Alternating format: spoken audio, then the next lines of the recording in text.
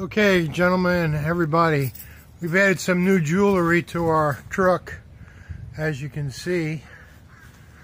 Trucking again at 58. So come follow us on YouTube and check out the adventures that uh, we are posting. Um, basically, uh, I show what it's like a day in the life of a trucker, uh, long distance. This is my 2020 Peterbilt 579. So come on the adventure with us and uh, subscribe. I can grow a lot of things. I just can't grow this channel without your help. Thank you very much. Y'all have a great day.